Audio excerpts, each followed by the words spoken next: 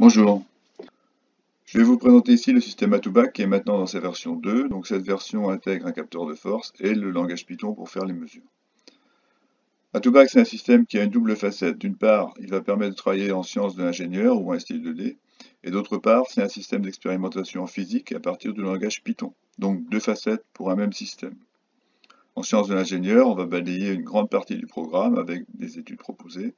En physique, on va avoir un petit système programmable qui va travailler sur les principes fondamentaux de la dynamique, de la conversion d'énergie, et cela avec des mesures en Python. Le système à la base est relativement simple. On a un moteur réducteur qui va lever une charge de 200 grammes et la monter à une certaine hauteur. À partir de là, on connaît déjà exactement l'énergie utile qui va être fournie par le système. Un capteur d'effort va nous permettre d'identifier précisément les différentes phases d'accélération, de décélération et même une phase d'apesanteur. En sciences de l'ingénieur, c'est une longue progression pédagogique qui est proposée. L'étude complète sera en général trop longue pour être utilisée entièrement. L'ensemble est donc découpé en six parties qui balayent beaucoup de thématiques du programme des sciences de l'ingénieur, que ce soit du calcul, donc de prédétermination, que ce soit au niveau de la mesure avec des capteurs mis en œuvre, ou encore de la simulation. Chaque partie pourra être exploitée selon les besoins pédagogiques.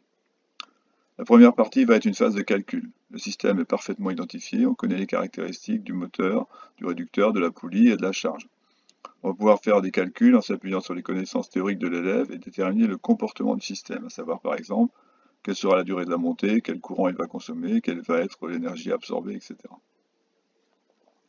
Dans un deuxième temps, on va faire des mesures. L'élève va lancer le mouvement sur le dispositif en faisant monter la charge et va récupérer les valeurs numériques mesurées. On voit pendant la montée trois valeurs numériques qui s'affichent de façon brute dans un premier temps. Ces trois grandeurs sont l'effort sur la cordelette pendant la montée ou la descente, le courant qui est consommé et la position de la charge pendant le déplacement. La quatrième donnée étant le temps. À partir de ces grandeurs, le programme sur le PC en langage Python récupère des listes de mesures et va tracer donc des courbes à la fin.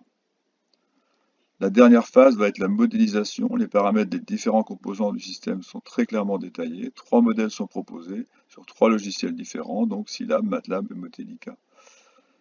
À la fin, on aura donc trois résultats. Les résultats du calcul, les résultats de l'expérimentation et les résultats de la modélisation.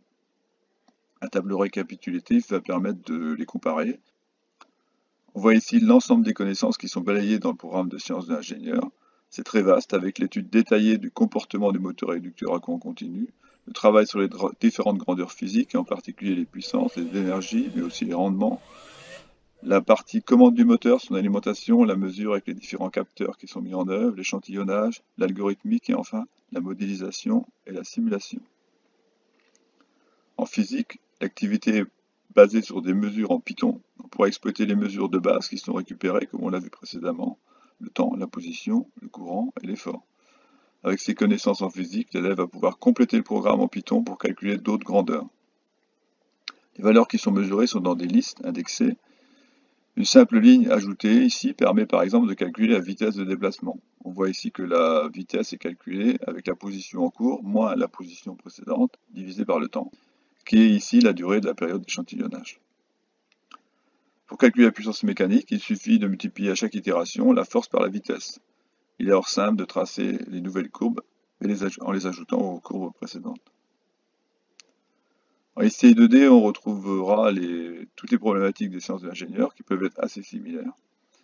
En physique, au baccalauréat, le système couvre les parties du programme sur les mouvements et interactions, l'énergie et ses enjeux, l'énergie mécanique, le mouvement d'un système, l'aspect énergétique d'un système mécanique, la conversion et le transfert d'énergie et la description d'un mouvement. Les parties du programme de physique en ST2D sont l'énergie et ses enjeux et l'énergie mécanique. Voilà donc rapidement présenté le système à bac un dispositif simple, facile à identifier et à comprendre pour se concentrer sur des fondamentaux. L'élève va pouvoir travailler sur les grands principes des sciences de l'ingénieur et sur des parties fondamentales du programme de physique au baccalauréat en s'appuyant à chaque fois sur le langage Python. Merci pour votre écoute.